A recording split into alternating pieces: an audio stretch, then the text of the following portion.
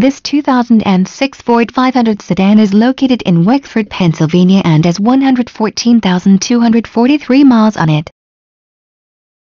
This Ford 500 has a beautiful titanium green metallic exterior paint color which is complemented by a shale interior color.